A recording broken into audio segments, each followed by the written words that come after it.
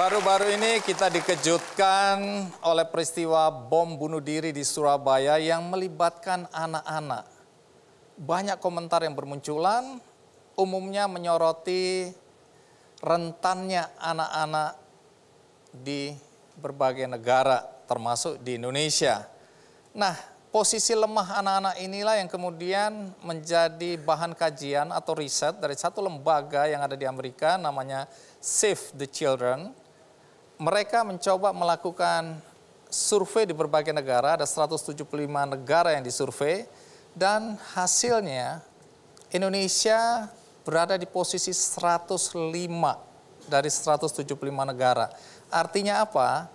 Artinya kondisi anak-anak di Indonesia yang kehilangan masa kanak-kanaknya cukup besar di negeri tercinta ini. Nah ini yang jadi perhatian, karena yang diukur adalah hilangnya masa kanak-kanak akibat tiga hal yang utama. Konflik. Setiap konflik, perempuan dan anak-anak akan menjadi korban. Kemudian kemiskinan. Ini juga yang membuat anak-anak menjadi korban. Dan salah satu yang cukup menonjol adalah diskriminasi terhadap anak-anak. Terutama anak perempuan. Dan itu terjadi di berbagai negara. Nah karena itu saya hari ini mengangkat topik tentang masa kanak-kanak yang hilang untuk mengingatkan kita semua tentang pentingnya menjaga hak anak-anak di negeri ini. Untuk itu, tamu kita yang pertama adalah Henny Supolo.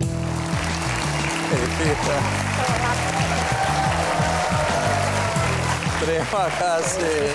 Mbak Henny silakan duduk. Tadi saya baru jelaskan tentang posisi anak-anak yang rentan di tengah konflik, kemiskinan, dan diskriminasi. Ya. Nah, kalau Indonesia diposisikan ke 105, artinya paling bawah untuk tingkat kebahagiaan anak-anak. Kalau menurut Anda situasi dan kondisi anak-anak di Indonesia apa hak-hak mereka yang selama ini hilang atau tidak kita berikan kepada mereka? Pertama-tama hak mereka untuk bermain hak dengan teman-teman kemerdekaan anak-anak kita sekarang ini untuk bermain dengan berbagai teman dari latar belakang yang berbeda, makin lama terasa makin sempit. Baru akhir-akhir ini ada pertanyaan di seminar pendidikan, misalnya begini, umur berapa ya saya masih boleh uh, membiarkan anak saya bergaul dengan anak lain dari agama yang berbeda? Sampai umur berapa? Ketika saya mulai memberikan seminar-seminar pendidikan di tahun 80-an, nggak pernah ada pertanyaan ini. Yang kedua, Indonesia masih mengalami atau menghadapi perkawinan anak. Dalam Perka usia dini maksudnya? Dalam usia dini. Artinya anak-anak kita juga mengalami kekerasan karena sebagian terbesar atau mungkin seluruh perkawinan anak itu bukan didasarkan tentu saja keinginan anak-anak itu karena anak-anak itu masih ingin bermain, masih ingin bersekolah. Sebelum kita lanjutkan, mari kita simak dulu tayangan berikut ini.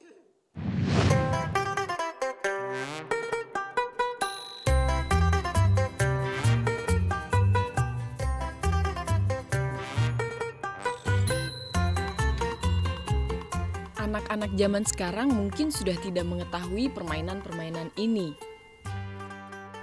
Permainan tradisional yang kini pamornya kalah jauh dengan permainan dan aplikasi yang terdapat dalam gadget.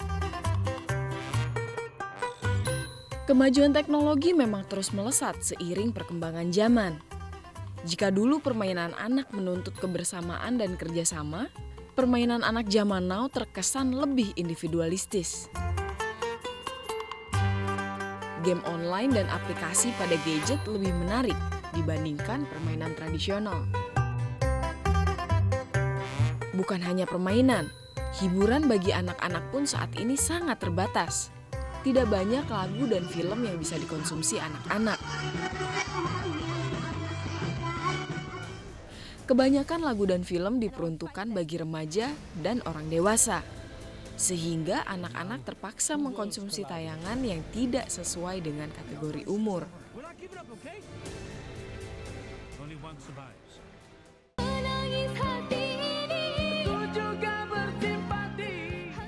Akses yang tanpa batas mempermudah anak di bawah umur untuk mendapat konten yang tidak sesuai dengan usia mereka, terlebih tanpa pengawasan orang tua.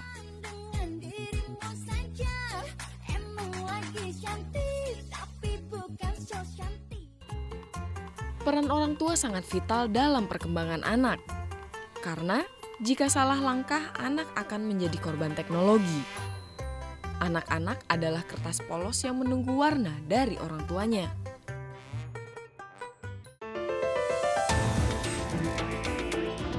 Yang lebih memprihatinkan adalah peristiwa tragis yang melibatkan anak-anak terjadi beberapa waktu lalu di Surabaya, Jawa Timur. Anak kecil diajak untuk melakukan aksi bom bunuh diri. Anak kecil yang belum mengerti paham radikalisme mau tidak mau mengikuti paham yang dianut orang tuanya. Hal-hal tersebut menunjukkan bahwa dunia anak saat ini sedang hilang.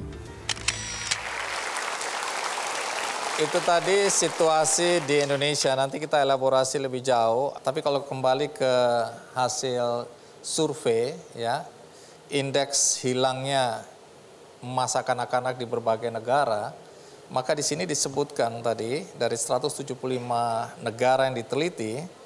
Nah, faktor yang paling utama yang muncul adalah kemiskinan dan itu terjadi di negara Korea Utara, di sini Rwanda, Bangladesh, Timor Leste. Kemudian akibat konflik ini di Palestina, Sudan, Suriah, Myanmar, akibat diskriminasi terutama terhadap anak perempuan di Arab, Kamboja, di Indonesia termasuk di dalamnya. Kemudian akibat kemiskinan, diskriminasi itu bisa digabung dua-duanya ada itu di India, Kenya, Uganda, Nepal, Senegal. Nah, kalau sampai di sini Indonesia tadi menempati urutan ke 105 dari 175 negara yang di riset. Kalau di Indonesia sendiri, apa saja faktor-faktor yang menyebabkan anak-anak kehilangan masa kanak-kanak mereka? Saya tidak yakin bahwa kemiskinan semata-mata bisa menghilangkan itu semua. Saya mengenal guru-guru dari eh, tempat-tempat uh, yang yang kurang beruntung, tetapi anak-anaknya bisa bisa hidup dengan sangat baik karena orang-orang dewasa di sana memberikan kemungkinan anak-anak itu untuk bermain dan e, berkembang dengan baik. Sebaliknya pertanyaan yang tadi saya sebutkan itu mm-hmm. adanya adalah di sekolah-sekolah di kalangan yang saya pikir cukup beruntung. Jadi jangan-jangan ini menjadi satu hal yang sangat kompleks dan masalahnya bu jelas bukan pada anak-anak, tapi pada kondisi para orang dewasa dan bagaimana mereka menatap masa depan anak-anak ini dan menyiapkan anak-anak ini untuk menyongsong masa depannya dengan senang, dengan gembira.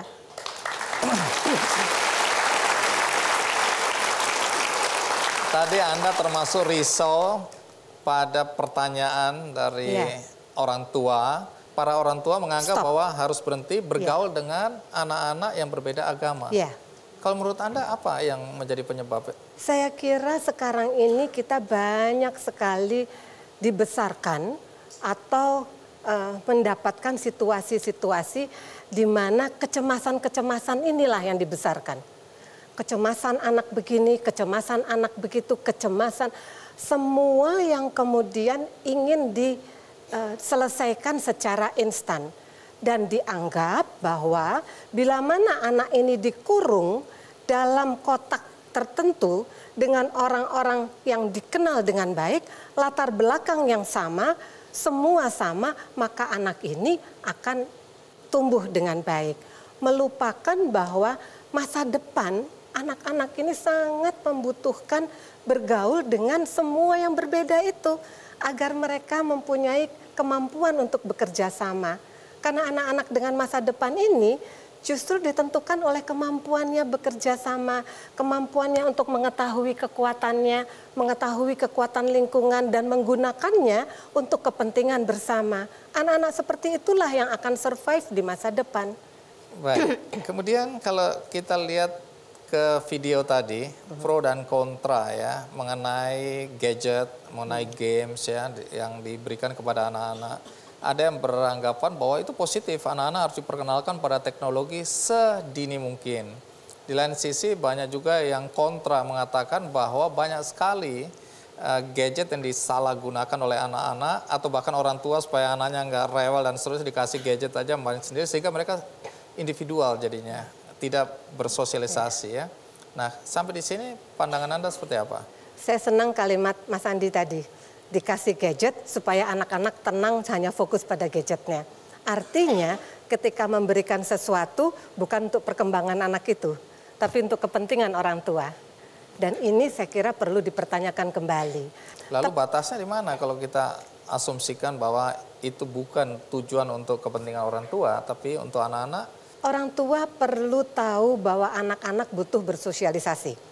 Mengapa kita butuh untuk ruang-ruang perjumpaan yang membuka kemungkinan anak dari beragam latar uh, belakang yang berbeda itu bertemu di sana adalah justru untuk menyiapkan mereka untuk masa depan. Nanti saya akan tanyakan soal posisi anak yang rentan berkaitan dengan bom bunuh diri di Surabaya ya. Apa pendapat Anda? Sekarang kita lihat dulu, ikuti terus Kikendi. Sebelum kita elaborasi soal anak-anak yang dilarang bergaul dengan anak-anak lain yang berbeda agama, Kemudian uh, bom bunuh diri di Surabaya yang melibatkan anak-anak dan mereka menjadi korban. Padahal mereka masih anak-anak pasti atau diyakini mereka tidak tahu apa masalahnya tapi mereka menjadi bagian dari uh, bom bunuh diri tersebut. Tapi sebelum sampai ke sana ada masalah klasik yang mungkin Anda bisa juga jelaskan kepada kami terutama bagi penonton-penonton yang usianya masih muda dan atau mungkin perkawinannya juga masih baru rata-rata pasangan-pasangan muda ini sibuk mengejar karir, sibuk mencari nafkah, ya untuk memenuhi kebutuhan keluarga tentu saja. Jadi positif sebenarnya.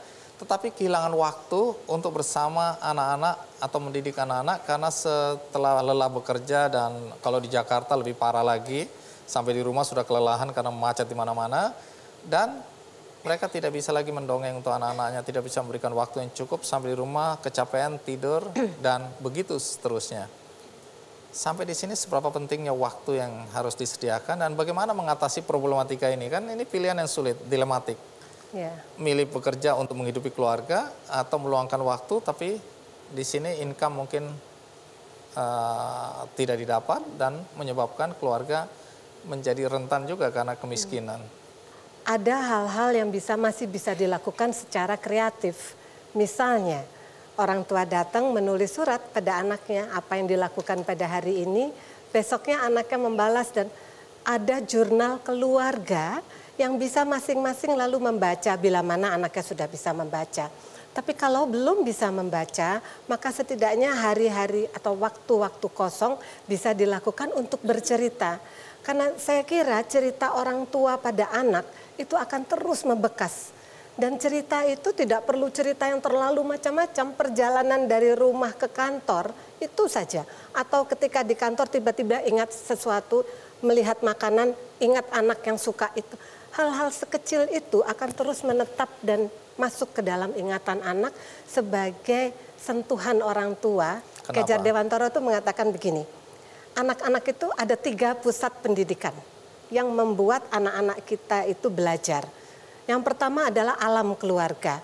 Kata yang dipakai alam, alam keluarga. keluarga. Jadi bukan cuma bapak ibu, tapi semua yang dianggap keluarga. Lalu alam perguruan, bukan hanya sekolah, tapi semua tempat anak ini berguru.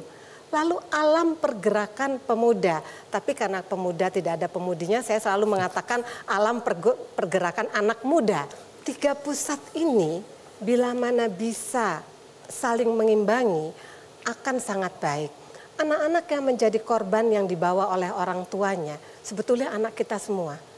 Kalau saja pada saat itu alam perguruan bisa mendeteksi, kalau saja pada saat itu alam pergerakan pemuda atau uh, masyarakat bisa mendeteksi, anak itu juga mungkin bisa selamat. Artinya tiga pusat pendidikan ini bisa saling mengimbangi Bila mana salah satu atau dua tidak berfungsi dengan semestinya, tapi ada yang lain yang bisa, mudah-mudahan masih bisa dirangkul anak-anak ini sehingga haknya untuk mendapatkan pengasuhan yang baik itu masih bisa uh, dijamin oleh kita semua. Nah, yang menarik juga alam perguruan. Ya. Nah, kita baca juga berita bahkan ada sekolah yang melarang muridnya menghormat bendera merah Betul. putih, Saya bertemu. melarang anaknya Betul. ikut menyanyikan Indonesia Betul. Raya. Betul. Bagaimana situasi seperti ini Anda Anda sikapi? Undang-Undang Sisdiknas pasal 4 itu mengatakan begini. Semua penyelenggara pendidikan, jadi penyelenggara pendidikan tanpa membedakan swasta atau ne- negeri harus memasukkan ke dalam kegiatan sehari-hari. Seluruh kegiatannya harus berdasarkan hak asasi manusia, memasukkan nilai agama, jadi nilai agama ya, dan juga nilai kemajemukan dan budaya bangsa. Artinya kan itu sudah jelas arahnya. Tapi seberapa jauh ini kemudian secara serius diperhatikan dan eh, diatasi, ini yang kadang-kadang saya kira masih kurang karena sering kali ini ada pengabaian.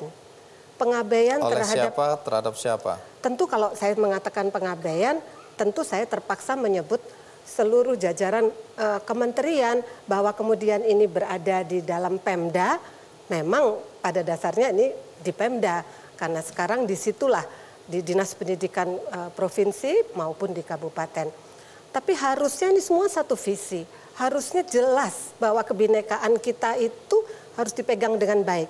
Karena tanpa ini nggak ada Indonesia. Jadi Tapi bagaimana secara keseluruhan aja agar anak-anak kita lebih toleran terhadap perbedaan? Karena kita tahu negara kita negara yang plural. Bagaimana cara kita melatih mendidik anak-anak agar mereka bisa tanda kutip menerima perbedaan-perbedaan? tidak ada cara selain membuka ruang-ruang perjumpaan. Selain membuka kemungkinan-kemungkinan dan kesempatan bagi anak-anak kita untuk bergaul dengan teman-teman dengan latar belakang yang berbeda. Karena sebetulnya ungkapan tak kenal maka tak sayang itu benar. Benar sekali. Hanya dengan mengenal maka kita bisa menghilangkan semua asumsi-asumsi atau penilaian-penilaian Negatif. eh, negatif karena kita tidak kenal. Nah, Anda kan aktivis pendidikan. Sekarang peran guru dan orang tua. Orang tua sering bertikai atau berpendapat yang berbeda dengan guru. Ya, terutama kalau ada masalah, loh saya sudah serahkan anak saya di ke sekolah. Kan ada guru-guru yang harusnya bisa mendidik dan mengajar. Nanti guru bilang, loh tunggu dulu, keluarga menjadi penting dalam soal pendidikan. Jadi jangan salahkan kami dan itu eker-ekeran terus. Kalau ada yang positif, oh itu saya, keluarga saya memang mendidik. Oh enggak, itu karena gurunya yang hebat dan seterusnya ya. Nah, peran guru dan orang tua di mana sebenarnya dalam hal membentuk karakter anak yang positif tadi?